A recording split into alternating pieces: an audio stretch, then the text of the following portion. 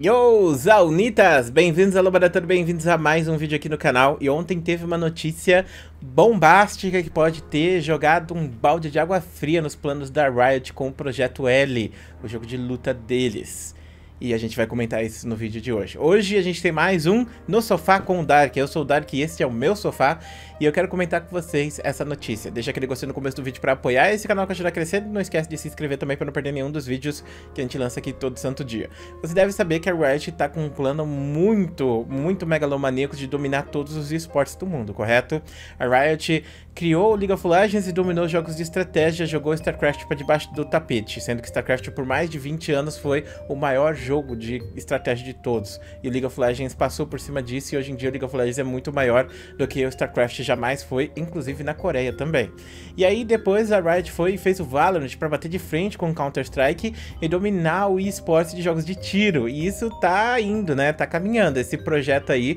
No caso, eu acho que a Riot esperava que fosse ser maior o hype para o Valorant Valorant, mas de qualquer maneira o hype tá muito bom. Vários jogadores profissionais de Valor, de Valorant, de Counter-Strike, eles flertam de certa forma com o Valorant e querendo ou não, a Riot acabou matando o Overwatch competitivo com o Valorant, porque a maior parte dos, das equipes profissionais de Overwatch, jogadores profissionais de Overwatch, pularam direto no trem do Valorant mesmo sem saber como que o jogo ia ser. E cara, o Valorant tá crescendo, tá sendo um jogo que tá dando muito certo para Rito Gomes. Eu até comentei que o hype de Valorant aqui no Brasil já tá maior que o hype de League of Legends. Óbvio que em questão de competitivo ainda não, porque não tem o CBVAL, né, o CBLOL do Valorant, saca? Mas de qualquer maneira, é, é uma coisa que vai crescer, eu tenho certeza absoluta, e agora a Riot tá tentando, né, com um novo nicho, que é dominar o nicho de jogos de luta, que na minha opinião é o segundo maior nicho de competição online, sendo desbancado apenas pelo nicho de estratégia. E como a Riot tem o primeiro nicho, eles vão tentar pegar o segundo com o projeto L, que no caso Legends Rising, que é o nome que eles estavam dizendo que era lá no Twitter, ou pelo menos não sei se vai ser realmente, saca?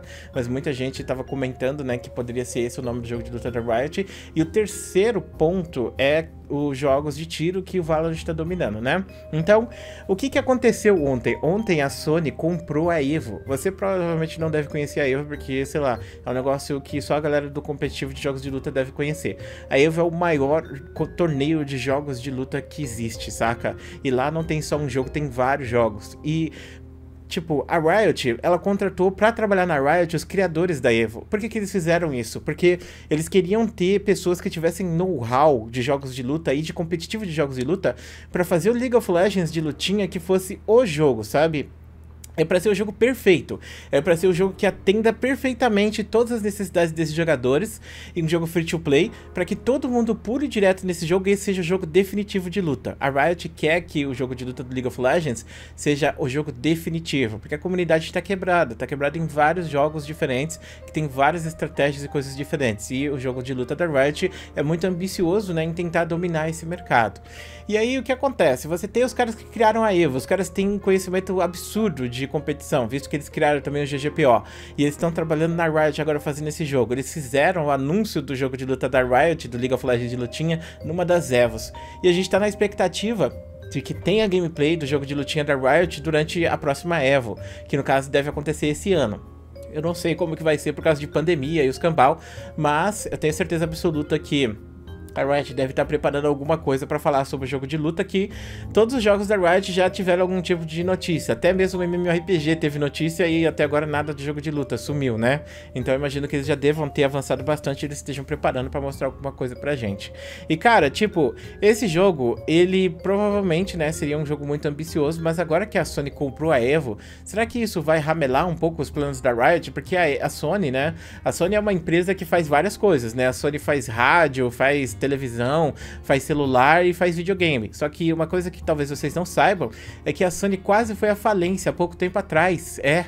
Só que a única coisa que não fez a Sony entrar à falência foi o videogame. Então a Sony, a divisão PlayStation, é a única divisão que tá carregando a Sony nas costas. Então a Sony vendo que o videogame é a única coisa que tá fazendo eles terem sucesso, obviamente eles devem estar tá pensando em se afirmar mais como é, potências do esporte. Então eles compraram a Evo para ter controle disso e provavelmente realmente passar suas franquias para frente, porque pensa na Riot. A Riot cresceu por quê? Porque o League of Legends é bom ou porque o League of Legends tem um esporte que recebe muito dinheiro e tem muita gente hypando? Obviamente, a, o League of Legends é um jogo muito bom para a época que ele foi feito. Hoje em dia a gente tem jogos melhores que League of Legends, mas na época que o League of Legends foi criado, ele era muito legal por ser revolucionário, de graça e criado ao tempo, né? Tipo, é um League of é, o jogo é um beta eterno, né? Que é um jogo que foi lançado, mas que sempre tá tendo atualização, sempre tá vindo coisas novas para ele. E isso faz a gente sempre estar tá voltando pro game. E, tipo, antigamente não tinham essa perspectiva. Antigamente você tinha jogos e jogos, né? Você saía um Call of Duty por ano, se você quisesse jogar o próximo, você tinha que comprar ele. Mas a Riot, ela revolucionou em fazer um jogo que ia sendo atualizado com o tempo, né? E no caso, isso deu muito certo e a Riot acabou dominando os nichos de esportes. E hoje em dia a Riot é gigante por causa da questão do esporte. A Riot já veio a público dizer que eles perdem dinheiro com os esportes, que eles gastam muito mais do que eles ganham. Mas vamos ser sinceros, né? A Riot investe uma grana violenta com esportes e principalmente em regiões que não são conhecidas por ter esporte. O Brasil é um exemplo. Antes da Riot vir pro Brasil, não existia tanto esporte no Brasil. Aí você vai falar, mas tinha os torneios de Counter-Strike, tinha os torneios de Dota. Sim, mas o cenário competitivo verdadeiro, ele acontecia só internacional. Então, se você fosse brasileiro e quisesse se tornar jogador profissional, você tinha que ir para fora do Brasil jogar. E isso aconteceu com vários jogadores, inclusive acontece até hoje com Counter-Strike, que tem um cenário internacional insanamente poderoso. Inclusive, os brasileiros são bem vistos internacionalmente no Counter-Strike, nós somos os melhores jogadores. E, cara, tipo, o brasileiro vai jogar internacionalmente, ele não joga no Brasil. Por quê? Porque aqui não tem espaço, porque aqui não tem desenvolvimento. E a Riot meio que revolucionou trazendo isso, investindo tudo isso. E hoje o CBLOL é gigante, o CBLOL é a terceira maior liga da Riot e provavelmente deve dar muita grana pra Riot. E pensa só, né? A, quanto que a Riot não investiu pro CBLOL, né? Conseguir andar com as próprias pernas, né?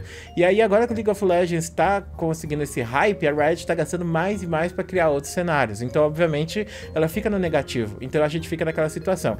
Ah, eu fico negativo. Eu peguei 100 milhões e gastei 110, então eu fiquei 10 milhões negativos. Aí no próximo ano, pô, tô negativo de novo. Eu gastei 200 bilhões e arrecadei 190. Aí você arrecadou bem mais, mas você acabou gastando um pouco mais. Aí, pô, eu gastei um bilhão, mas eu acabei arrecadando 900 bilhões, entendeu? Então a Riot tá cada vez investindo para ganhar mais. Então eu penso que seja esse aí o argumento de por que, que a Riot fica negativa com os esportes. A Riot não vai parar de fazer esportes, porque é o que sustenta o League of Legends.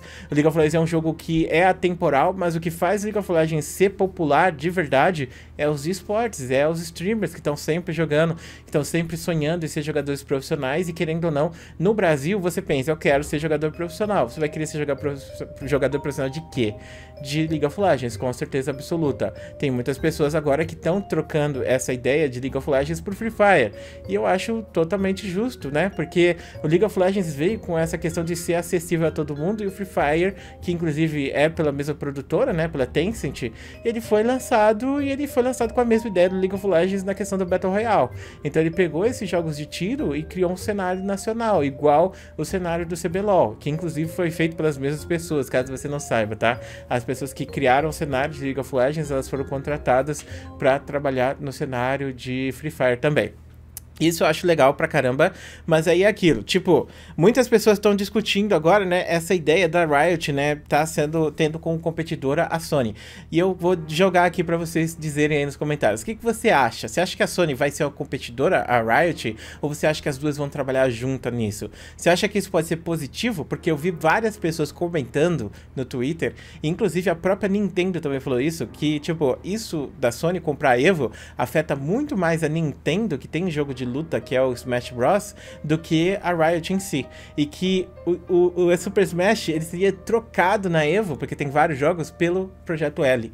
Então talvez isso seja uma coisa positiva. Inclusive a Nintendo veio a público também falar sobre essa situação e falou que eles vão continuar conversando com a Evo e procurando espaço para ter torneios de Super Smash lá. Mas muitas pessoas já estão discutindo, né, o futuro do Super Smash na Evo, por causa que agora a Sony comprou e geralmente essas empresas, né, elas não se batem muito bem. Mas eu não sei qual seria o futuro disso, visto que a Nintendo parece que ela não, não trabalha muito bem com o público nesse aspecto. Então, teria grande chance de que fosse removido mesmo o Super Smash da Evo, não porque a Nintendo fechou o nariz, mas porque ela não soube trabalhar com a Sony para continuar mantendo o projeto lá, né? E não sabemos se vai ter royalties ou coisa do tipo, mas de qualquer maneira é interessante você pensar que a Riot estava fazendo de tudo, né? Tá, tava caminhando para dominar esse cenário e agora a Sony chegou com um caminhão de dinheiro e comprou o bagulho antes da Riot, né? Mas mesmo assim, eu tenho certeza absoluta que pelo hype que esse jogo tá tendo na comunidade de jogos de luta, o Projeto L vai ser o próximo grande jogo de luta, com certeza absoluta. E que se ele for bom ou não, não importa, porque ele vai ser o jogo definitivo, ou pelo menos o jogo que a todos vai querer unificar. E muitas pessoas vão acabar saltando nisso. Aí vai depender da Riot de gerenciar esse feedback e esse grande público que vai vir para cima do jogo deles para continuar existindo. E cara, isso realmente é assustador, sabe? Porque você pensa que, tipo, a comunidade de jogos de luta, ao contrário da comunidade de jogos de estratégia, que nem League of Legends, ela tem vários jogos quebrantados em várias empresas que não sabem fazer uma gerência de jogo atemporal como a Riot faz. Exemplo, a Capcom. A Capcom, ela lança as atualizações do jogo dela como se fossem jogos novos, entendeu? Só recentemente que ela começou a parar com isso, com o Street Fighter V, mas eu lembro do Street Fighter 4, do Street Fighter 3, que teve... O Street Fighter 3 teve três versões. O Street Fighter 4 teve, acho que umas quatro ou cinco versões. Então, sempre que eles tivessem que lançar personagem novo ou fazer uma atualização daquele jogo, eles vendiam o jogo como completo. E isso com certeza afeta a comunidade, que nem a comunidade, por exemplo, dos jogos de Call of Duty, que todo ano eles estão comprando um jogo novo e aquele jogo antigo, mesmo que ele fosse melhor que o novo, ele fica meio que à mercê da, do ostracismo, sabe? E eles vão caminhando dessa forma. E aí quebra um pouco esse paradigma de comunidade, como aconteceu com Overwatch, que eu disse que a Riot acabou matando o Overwatch de certa forma, né? Porque a Riot, ela criou o jogo dela e é um jogo estável, coisa que a galera que tá jogando profissional quer.